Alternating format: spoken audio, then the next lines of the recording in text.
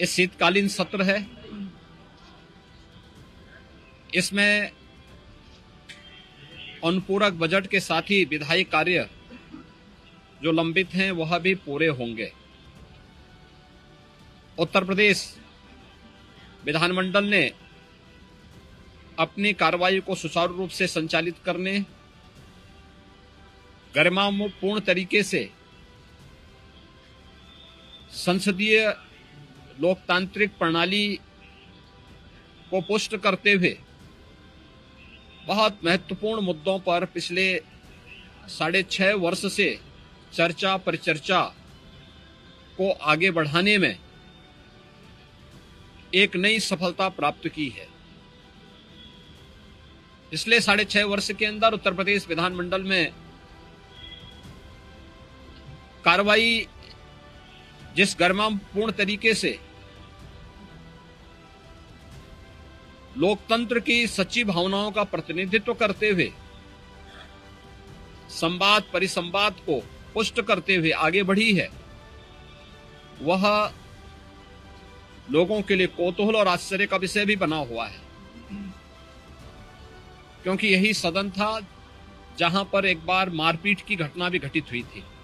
लेकिन आज यहाँ पे चर्चा परिचर्चा जन समस्याओं से जुड़े हुए मुद्दों को रखना उनके निस्तारण की व्यवस्था करना, ये सभी चीज़ों को लेकर के बहुत अच्छे तरीके से यहाँ पर इस समय ये कार्रवाई चल रही है और मेरी अपील होगी सभी मान्य सदस्यों से, खासतौर पर विपक्षी दलों के सदस्यों से, कि जिस गरिमापूर्ण तरीके से उत्तर प्रदेश विधानमंडल देश के अंदर वर्तमान में चर्चा में है उस गरिमा को बनाए रखने की ज़िम्मेदारी केवल सत्ता पक्ष की नहीं विपक्ष की भी है।